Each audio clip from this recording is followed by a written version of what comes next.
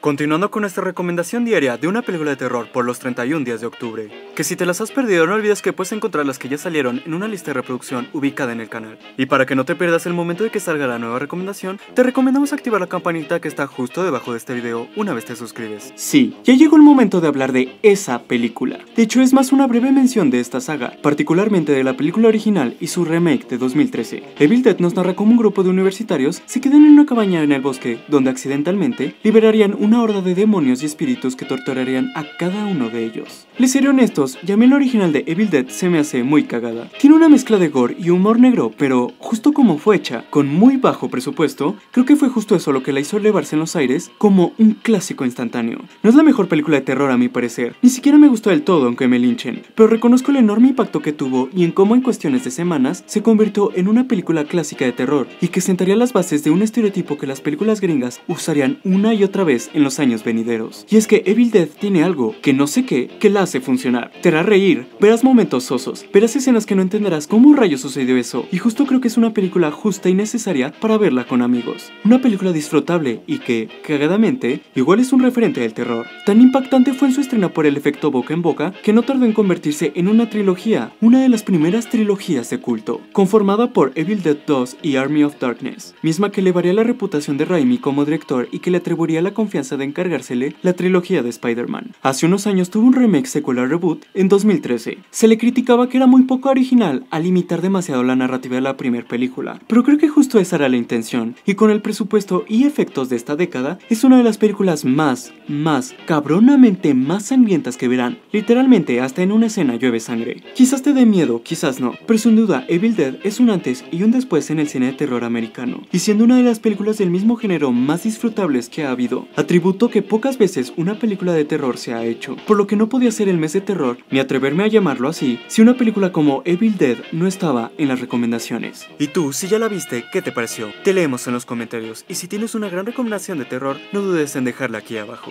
Esperamos te haya agradado este breve video. No olvides darle like, activar la campanita y suscribirte. Esto nos ayuda a seguir sacando videos. Yo soy Rorschach y nos vemos a la siguiente en The Watch Hola seguidores de Watchtower, muchas gracias por ver este video y esperamos les haya gustado. Y si a ti, como nosotros, te encanta el universo geek, no olvides que más que ser un canal, somos una comunidad. Y puedes comunicarte con nosotros para colaborar juntos y crear grandes ideas. Todos los interesados son bienvenidos. Y puedes encontrar nuestro correo aquí en la descripción del video. Nos vemos a la siguiente en The Watch